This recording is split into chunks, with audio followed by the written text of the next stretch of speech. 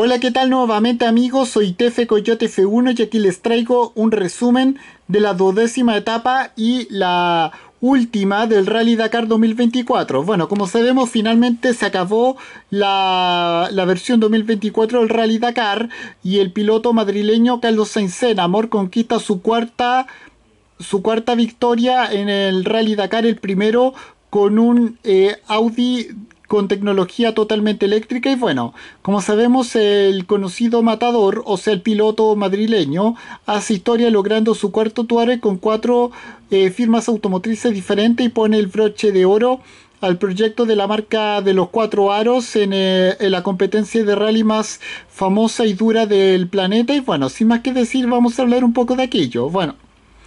Bueno, como sabemos, la organización avisó que, de que la etapa número 11 sería la decisiva en una versión 2024 del Rally Dakar que terminó siendo bastante competida entre el piloto madrileño, el español Oriente Madrid, Carlos Sainz Senior, o sea, Carlos Sainz Enamor, y el piloto francés. Eh, nueve veces campeón mundial del World Rally Championship, Sebastián Loeb, y lo terminó haciendo luego del problema mecánico de parte del piloto francés. Eh, y bueno, en cambio, la etapa final se trató de la segunda etapa más corta de toda la versión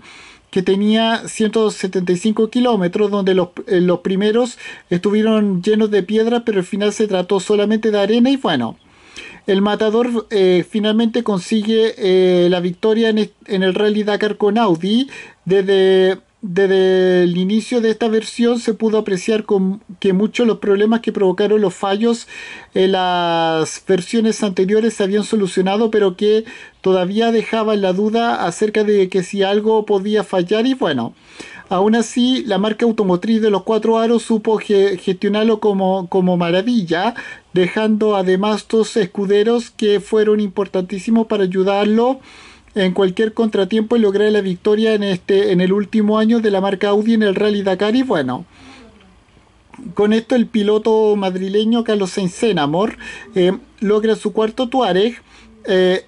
este esta cuarta victoria histórica por, varios, por dos razones, especialmente debido a que lo logra habiendo conseguido cada uno con cuatro distintas marcas, eh, siendo la alemana Volkswagen, la francesa Peugeot, la británica Mini y ahora la también alemana Audi, curiosamente eh, marca hermana de la primera que acabo de mencionar, o sea Volkswagen y bueno, también se consagró como el campeón de como el campeón del rally más duro del mundo con eh, más mayor teniendo 61 años de edad, superándose a sí mismo cuatro años atrás cuando logró este récord con la marca Mini, teniendo eh, todavía 57 años de edad y bueno, eh, en la etapa de hoy el piloto español Oriundo Madrid ni siquiera eh, requirió apretar al máximo eh, para conseguir la victoria. Con su